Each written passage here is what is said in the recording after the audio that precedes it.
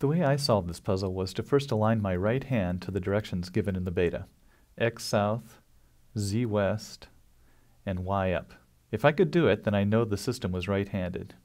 Easy enough, my right hand aligns just fine. If I tried the same thing with my left hand, I can get two out of three axes to align, but the third is always in the opposite direction.